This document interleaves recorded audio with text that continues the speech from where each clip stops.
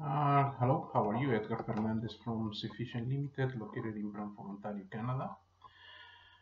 So the topic of today, actually, it's um, uh, I found it in the um, um, here in the magazine uh, from the uh, chemical engineering, the American Institute of Chemical Engineering, on his uh, edition of July 2017. Actually, magazine is a chemical engineering progress. I found a very interesting article about the, uh, making sense of, laboratory fire codes.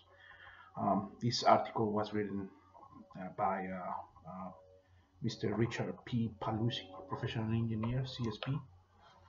Uh, I think he's it's Richard P. Palluzi, LCC in the United States. And actually here in Canada, um, well, we have the, the uh, provincial fire codes and we have the Canadian fire code and also we have building codes of each province and the Canadian building code as well. And apparently there is um, a conflict which um, codes I need to, well, we need to follow, especially in the United States. Here in Canada, it's very clear. You follow the provincial fire code, if not federal. And if not, and then, um, and more in both codes actually, they mention NFPA 45.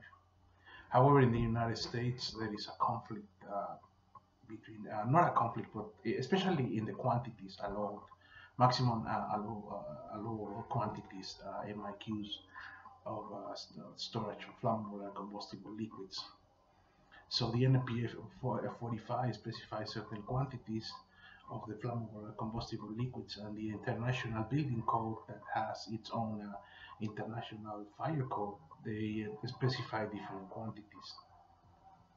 In this magazine that I have in front of me, um, I'm gonna I did a brief resume. I, I highlighted some uh, interesting things that uh, Richard wrote down, and one is the uh, the NFPA 45 says here that uh, it's focused on confining one single laboratory so the damage of the laboratory is acceptable long as it, does, it, doesn't spread actually the, the, beyond the laboratory. The International Fire Code, uh, that is a portion of the, of the International Building Code, is, is to establish the minimum requirements to, consistent with the national recognized good practice for providing a reasonable level of life safety. That's one of the differences. And property protection for the hazards of fire, explosions, or, or uh, or dangerous conditions in the new existing building structures and, and premises. And um, there are one of the different another difference is uh, defining the enclosing the enclosed area. So the uh, for the NFPA 45, the enclosed area is the laboratory by itself. So it, the definition says include enclosed space used for experiments and tests. So it's the same laboratory.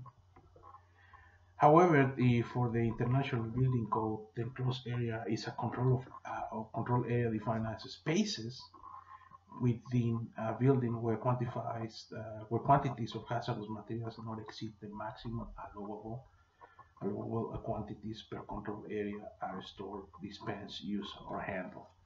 So actually, the International Building Code is considered uh, different spaces in at the same laboratory actually, and the NFPA considered everything as a whole, uh, if I understood correctly.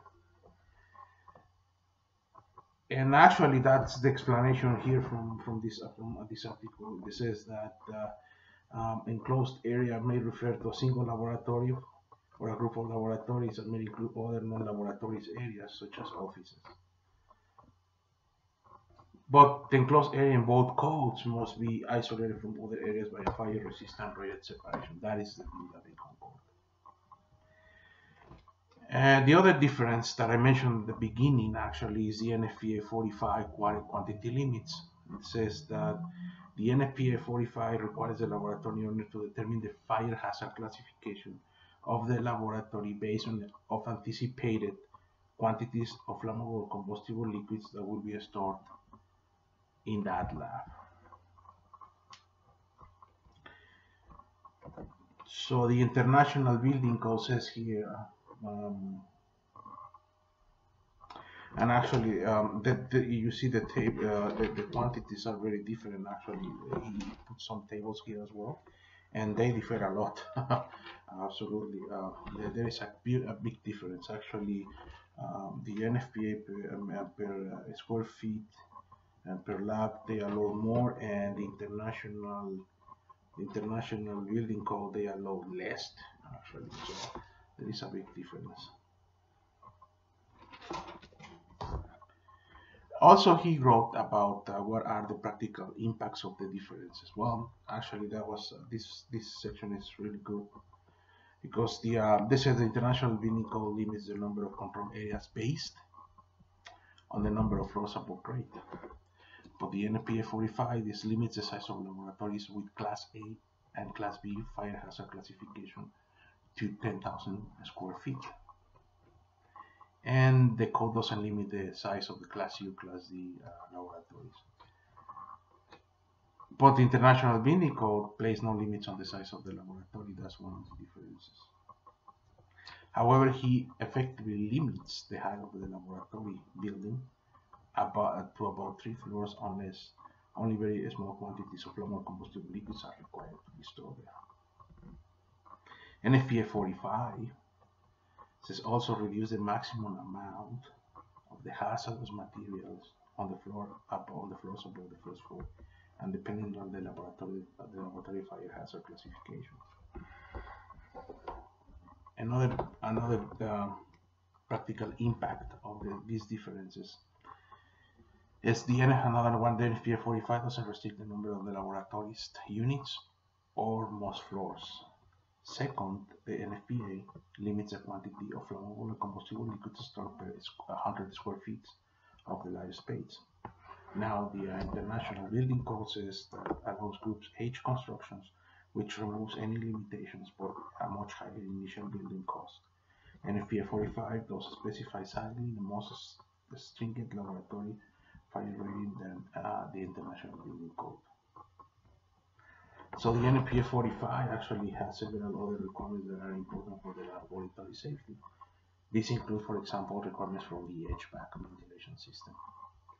So one of the is there are some municipalities in the United States that um, they go with international building codes, especially in the big cities, those big university labs, for example, they go with the international building codes. Here in Canada, you go with the Canadian and you go with the provincial provincial code or you go with, uh, with NFPA 45 or um, there is combination of international building code as well. But however, the uh, limits of the quantities here in Canada, we need to follow provincial uh, uh provincial um, specifications. So the Ontario Fire Code has those numbers really established already on section uh, 3 flammable and combustible liquids but you want to make more strict and more uh, uh a more um, a, a, safer um, have a better a, a, better build of the laboratory so yeah it's good idea to also consult the NFPA 45 but like I said sometimes uh, in, in, in some places they go with the IBC I, I, uh, and the and the IFC and then they completely ignore the NFPA 45 uh, that is not a good practice. Also like uh, like this article says, there are other provisions, other engineering measures that the NFPA 45 is recommending, such as ventilation, for example. Um, also, the International Building Code restricts the maximum allowable quantities in higher floors. In higher floor floors, so they require a largest first floor in most cases which is more expensive than adding the higher floors. floors. So, and also the NFPA also has a long history of successful lim limiting fires to a single laboratory. So that's the um, the, um, the, the, one of the differences. There have been efforts actually, and still uh, still they are doing efforts on groups, the representatives of the NFPA 45 and representatives of the National Building Code to conciliate to two standards and see to avoid confusion which one is better, which one is uh, is better or how in other words is how uh, eliminate confusion from from uh, companies that they build this type of lab, uh, any industrial laboratory or any laboratory university.